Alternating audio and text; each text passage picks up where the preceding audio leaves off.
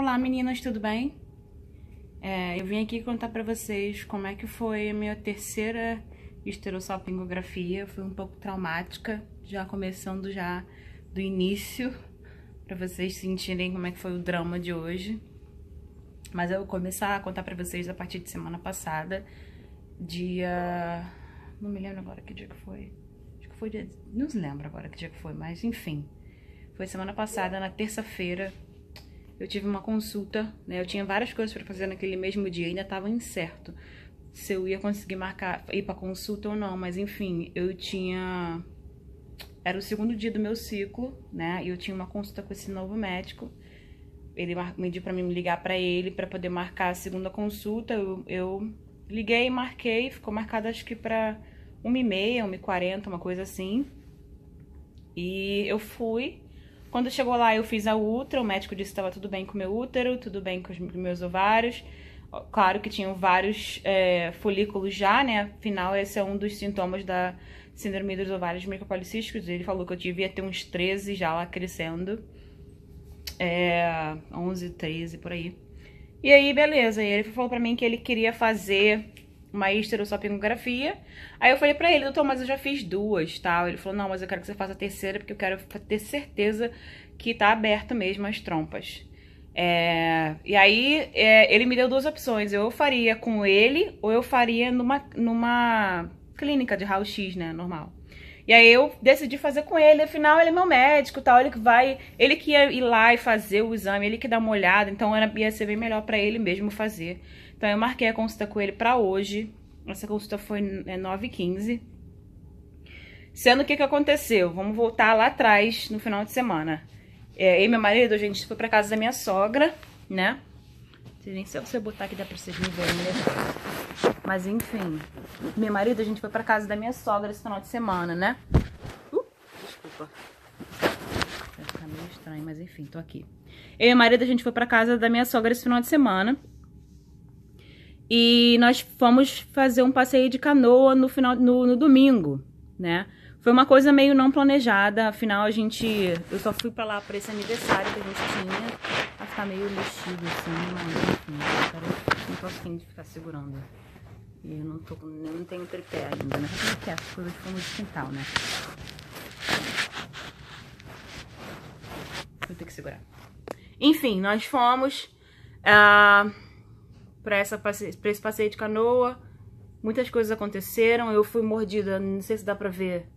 Eu fui mordida de mosquito, acho que no corpo inteiro. É, a chave do, nosso, do meu carro molhou. Nós, tinha, nós tínhamos ido com dois carros, né? E um carro estava na casa da minha sogra. E o meu carro, a gente foi para essa lagoa, né? Pra esse lugar pra andar de canoa. Tendo que chegou lá, a gente pegou chuva. E a minha chave molhou. Depois disso, quando a gente veio pra casa, minha chave não quis mais funcionar quando chegou na casa da minha sogra.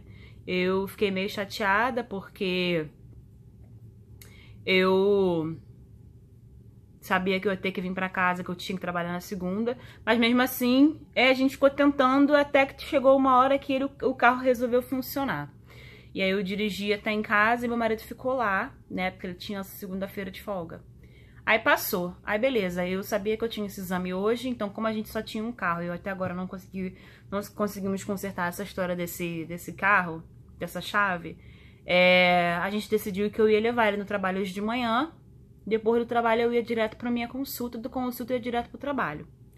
Aí beleza, fui pro, fui levar ele, deu tudo certo, cheguei, é, fui pra consulta, cheguei lá acho que umas oito e pouca, minha consulta estava marcada para 9h15, eu cheguei lá, acho que era mais 8h40, 8h50. Bem certinho, assim, deu tempo legal. Eu cheguei, esperei lá. Vou até botar um pedacinho da recepção que eu gravei, o vídeo, pra vocês verem.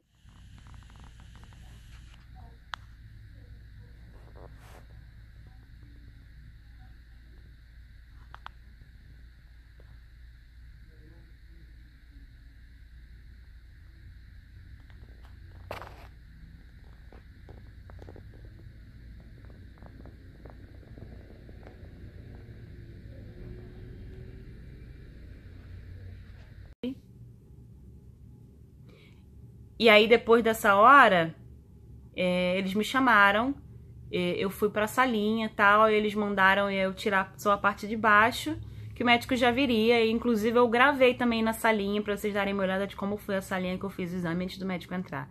Dá uma olhada aí.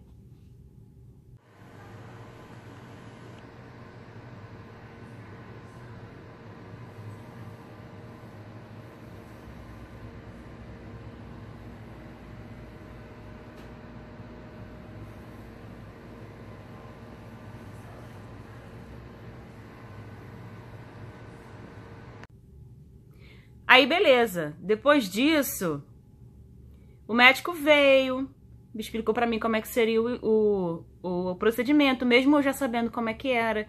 Ele explicou para mim direito, falou para mim que eu ia conseguir ver, o que eu fiquei muito feliz, porque nos outros dois que eu fiz, um foi numa clínica de, de raio-x, eles não, não deixam você ver, e o segundo eu tava desacordada, né, que eu fiz a, estero, a esteroscopia junto, né. Então eu fiquei feliz de ver e aí ele me mostrou, né? Começou me explicando toda hora o que ele tava fazendo. Olha, eu vou botar o bico de pato agora. Aí daqui a pouco ele, olha, eu vou botar o contraste. E até então, tudo bem, tudo tranquilo. Não senti dor nenhuma. Deitei lá. Ó, deitei lá. Aí daqui a pouco ele me mostrou o contraste entrando no meu útero tal. Inclusive, ele até falou pra mim que o meu útero realmente tem um formato. Sei, sei se vocês viram aí no vídeo muito tempo atrás, é da minha primeira é, histerossofengografia, que eu, a médica falou que eu tinha um útero com, em forma de T. É exatamente em forma de T o meu útero. Ele é comprido assim, tipo assim, ele é comprido e tem as duas partinhas assim, uma para cá, pro lado, lado esquerdo, e uma para cá, pro lado direito, e comprido assim para baixo, sabe? Não é mais redondinho igual de todo mundo, meu é diferente. Até, mas, mas ele falou pra mim que isso não é problema nenhum, que o único problema que seria é no futuro, na, quando eu tiver o parto, que pode ser que eu tenha uma dificuldade na hora de ter o neném, né? Mas que isso não tem problema nenhum é, agora e que ele não estaria preocupado agora. Ele ia ver enquanto. o negócio agora é eu engravidar. Tô coçando assim aquelas mugidas de mosquito, gente. Aí, beleza. O exame é, me mostrou tudo. Quando chegou na hora das trompas, eu fiquei bem atenta, porque eu queria prestar bastante atenção. E aí ele botou uma pressãozinha isso eu tava começando a sentir só uma cólicazinha, sabe? Assim, bem... Mas sabe aquela sensação de quente, assim, sabe? Do início da cólica? Quando a tua barriga vai ficando quentinha, tu já sabe que a cólica vai vir? Mas até então tudo bem, não tava doendo, não tava nada. Aí ele me mostrou, quando ele me mostrou, o contraste passou direitinho para as duas trompas. Ou seja, minhas duas trompas estão realmente abertas, graças a Deus. Não tenho problema nenhum com elas mais. É... E aí o exame terminou, ele falou para mim que ele, que ele tinha alguns resultados para me dar e que ele ia me dar o plano do próximo passo, né? E aí, beleza, nisso quando eu levantei da maca, eu comecei a sentir cólica.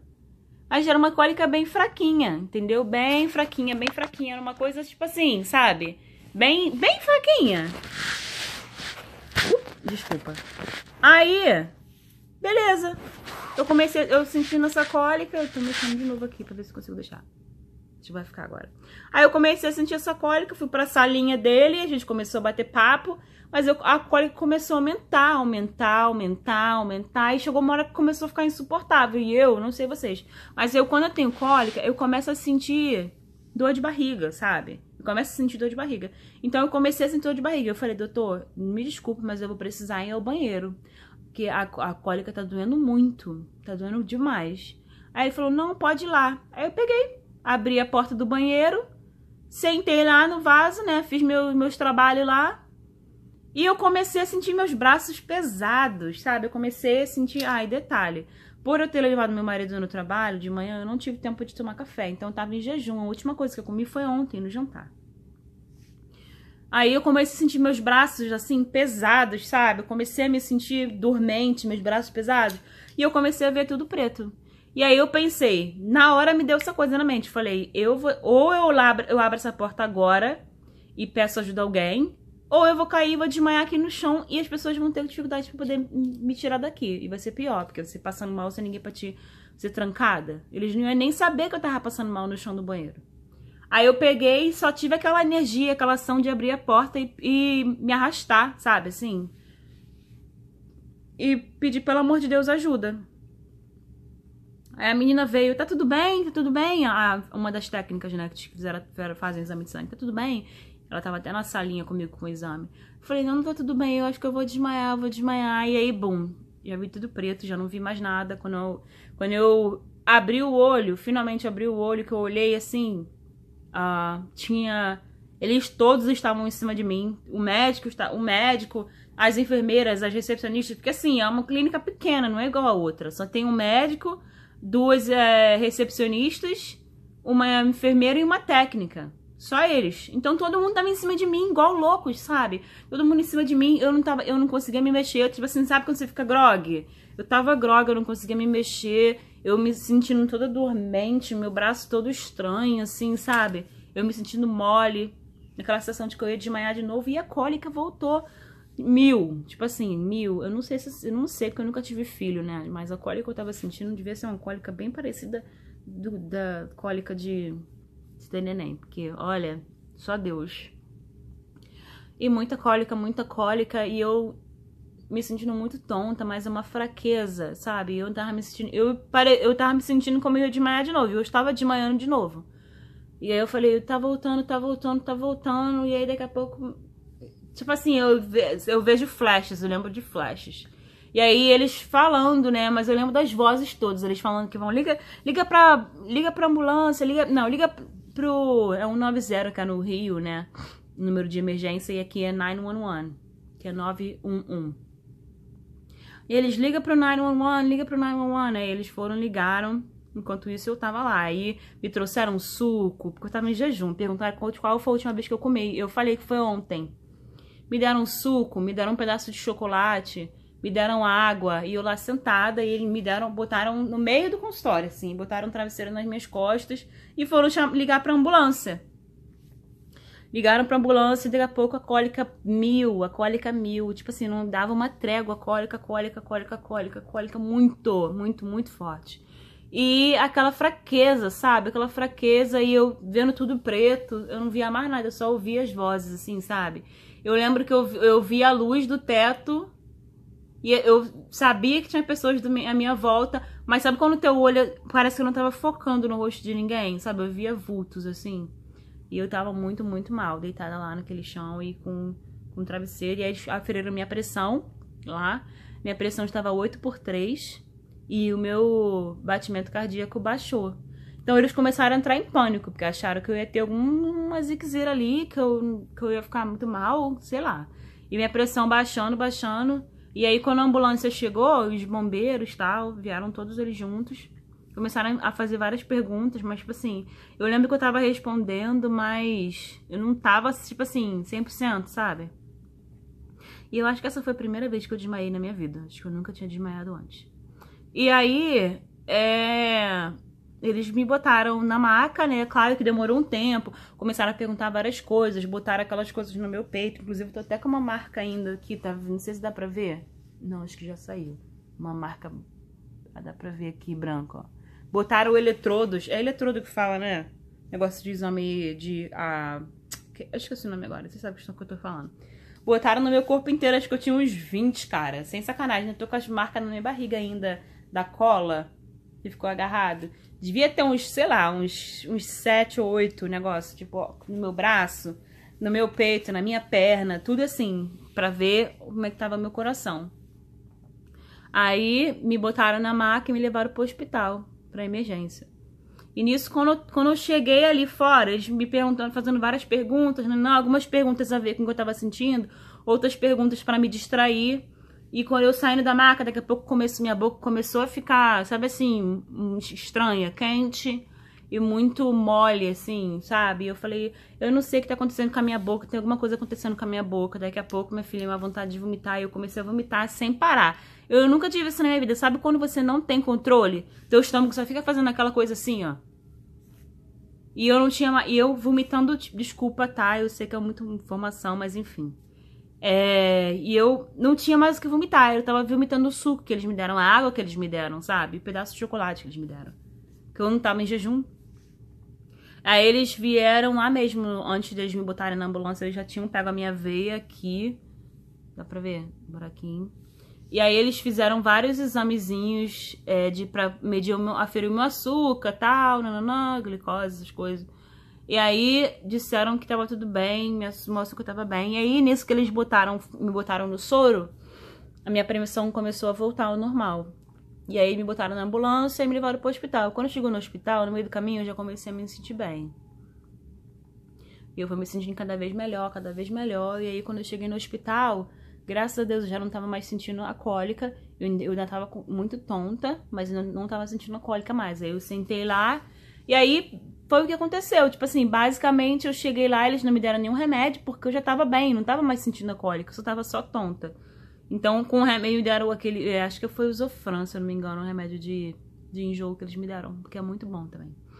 E nisso, meu marido maluco, né, lá, porque ele tava no. tá trabalhando é, no Corpo de Bombeiros. Inclusive, uma das pessoas, um dos bombeiros que me socorreram já trabalhou no mesmo lugar onde meu marido trabalha. Tava até perguntando qual era o nome do meu marido, há quanto tempo meu marido trabalhava lá, não, não. E aí, ele não pôde ir. Primeiro porque nós estamos só com o carro. Lembra que meu carro tá ruim aqui na garagem? Não é que tá ruim, mas a minha chave não quer ligar o carro. Então, e eu tava com o carro dele. E eu tava. Me, eles me levaram de ambulância pro hospital. Meu carro ficou lá. O carro do meu marido ficou lá na, no consultório. E eu tive que chamar um Uber, né? Depois que eles me liberaram.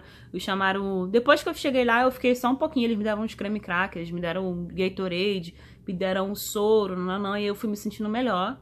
E aí, quando eu, eles me liberaram, eu chamei um Uber. Aí o Uber me levou do lado do hospital até o consultório. Eu voltei, entrei lá, falei com o médico, terminei minha consulta. Afinal, ele não tinha falado para mim o que ele queria que eu fizesse. Aí ele falou para mim que ficou muito preocupado, mas ele falou que graças a Deus estava tudo bem comigo. Graças a Deus meu meu exame deu tudo bem. Ele não acha que o que eu, que eu tive hoje foi uma alergia ao contraste, também acho que não. Pode ter sido, mas enfim, eu acho que não. Eu acho que foi porque eu realmente eu não entendo por que, eu senti essa dor se nas outras duas vezes eu não senti dor nenhuma, nenhuma. Falei para vocês que cada corpo é um corpo. Se vocês voltarem lá no meu primeiro vídeo, segundo vídeo foi da minha histerossopingografia, eu falei para vocês cada corpo é um corpo, que cada ocasião é ocasião. Alguma vez você vai fazer, você não vai sentir nada, outras vezes você vai sentir uma dor absurda. Eu senti uma dor absurda, mas não foi durante a estressopingografia, foi depois. Mas tem a ver com o contraste, afinal era o contraste que estava me fazendo sentir dor, entendeu? Então, é, eu já tive duas experiências. Já tive a experiência de não sentir dor nenhuma e a experiência de sentir dor. Bom, aí ele falou o seguinte, que tava tudo bem, tudo maravilhoso comigo. Meus exames de sangue voltaram ótimos, tudo voltou ótimo. É, o desenvolvimento do meu, dos meus ovários estavam ótimos, porque na ultrassonografia, no dia que eu fiz a ultra, ele fez uma, uma um exame de sangue, né, para ver algumas coisas, para é, investigar, e ele falou que tava tudo bem. Então ele falou para mim o seguinte, que agora, depois disso, ele quer que eu veja, quer que eu tome o letrozol de novo, né? E ele quer, ele já me deu uma prescrição para minha progesterona. Então ele quer que a partir do dia do dia 18 do meu ciclo, né, 18 dia do meu ciclo, ele quer que eu comece a tomar progesterona. Para poder forçar essa menstruação a descer, pra gente já começar a fazer os tratamentos. Então, provavelmente eu vou estar tá voltando aqui para falar com vocês muito em breve, né, sobre o próximo passo desse do tratamento. Mas enfim, graças a Deus eu depois disso eu já peguei eu peguei o carro, eu parei numa num restaurante desses doidos aí, fast food, comprei coisa para comer, comi. Ainda tô com uma dor de cabeça chata, bem chata. Já, acho que agora são 3 horas, 3 e 23, 25. A hora que eu comi, acho que era umas duas e pouca, uma hora, uma, não, acho que era 1h40, duas horas, assim, sabe? Aí eu dirigi de volta, passei no meu trabalho. Minha chefe não quis que eu ficasse, ela preferiu que eu viesse para casa para mim descansar. E aí é isso, cheguei aqui ainda, nem, tomei banho ainda, já vim gravar pra vocês, porque eu sei que agora, depois disso, eu vou tomar um banho e vou deitar, eu vou ficar aqui. Ainda tô até com a pulseirinha do médico ainda, tá vendo? É... E é isso, gente, assim, eu não vim aqui pra assustar ninguém, né? O que eu tive foi, foi isolado, tem mais a ver com o meu estar de jejum também. Tem muito a ver comigo estar de jejum. Então eu digo pra vocês, se vocês fizerem, fizerem a minha estressopinografia, por favor, não vão, não vão em jejum, Porque se você sentir muita dor, você tem a possibilidade muito grande de sentir isso, entendeu? Porque o corpo da gente é assim, ele, ele não consegue lidar com, essa, com a dor. Tanto que eu vomitei, a dor tava tão grande, tão grande, que me fez vomitar de tanta dor. Você tem uma ideia. Então, assim, não vão em jejum fazer a estrossalpingografia. Depois que eu terminei de fazer a, a estrossalpingografia, eu não tive nenhum sangramento. Nem depois dessa cólica absurda que eu tive, eu não tive nenhum sangramento. A única coisa que eu tô tendo agora, no mínimo, é, é o contraste saindo ainda, né? Mas fora isso, tudo maravilhoso, tudo bem. E, e é isso. Então, eu espero que vocês estejam bem. Não fiquem preocupadas comigo, eu tô bem. Meu marido tá trabalhando hoje, mas eu tô em casa, tô tranquila, eu tô bem, eu sei que eu tô bem. Se eu não tivesse bem, eu não teria vindo para casa, eu teria ficado no hospital. Uma, uma, só para vocês verem a diferença dos Estados Unidos pro Brasil com respeito à saúde. Eu cheguei no hospital, eu não fiz nada no hospital. Tudo o que aconteceu comigo foi feito na ambulância ou na clínica, né? Na hora que eles foram me socorrer. E quando eu cheguei no hospital, eu já estava bem. Eu só cheguei no hospital, praticamente fiquei no mesmo soro que eu já estava. Eles me deram o quê? Dois creme crackers e um Gatorade. E na hora que eu saí, eu tive que pagar uma coparticipação de 300 dólares. Só porque eu entrei no hospital pela maca e deitei na cama e desarrumei a cama deles. Só isso que aconteceu. Não, eles não fizeram nada comigo. Eles queriam fazer um exame, exame de sangue em mim, mas eu não deixei fazer, porque eu sabia que a conta ia vir absurda só por causa do exame de sangue. Meu marido até falou pra mim, pra mim não fazer, porque ele já... Meu marido sabe, porque como eu falei, meu marido é paramédico, né? Então ele já foi falando tudinho pro médico, o que geralmente acontece comigo quando eu não como. Falou pro médico lá que eu... Minha pressão é baixa, e tudo, que eu já tive isso antes. Tudo bem, já tive isso antes, não. Já tinha, minha pressão ela é baixa às vezes, assim, e é meio louco. Mas ele falou, se eles mandarem você fazer o exame, já, já fala que tu não quer fazer, porque tu sabe que eles vão te cobrar aí 200 dólares por um exame de sangue. Então, vocês já sabem como é que é. Aí você vê o sonho americano, né? Tem muitas coisas maravilhosas a respeito dos Estados Unidos, mas a saúde não é uma delas infelizmente, é, é muito caro e eu ainda não recebi a conta da ambulância, que vai vir. Mesmo tendo um plano de saúde, um bom plano de saúde, entendeu? É considerado um bom, um bom plano de saúde, você paga com participação. E meu marido já falou que acha que a conta da ambulância vai ser uns 700 dólares. Então, para vocês verem como é que é complicado. E eu tô me coçando aqui porque eu tenho umas 300 mordidas de mosquito. Inclusive, a enfermeira tava até falando pra mim que é perigoso, já que eu quero ser mãe, né? Que eu quero engravidar. E a zika já chegou aqui nos Estados Unidos, né? Na Flórida. Então, ela tava falando que é pra mim tomar cuidado com essas mordidas de mosquito e a zika, né? Então é isso. Bom, espero que vocês estejam bem. Espero que o dia de vocês seja maravilhoso, o resto da semana e o dia que vocês verem esse vídeo. Um beijo pra vocês, eu tô bem. Que vocês fiquem bem, que Deus abençoe aí a semana de vocês. E eu falo com vocês no próximo vídeo. Um beijinho. Tchau!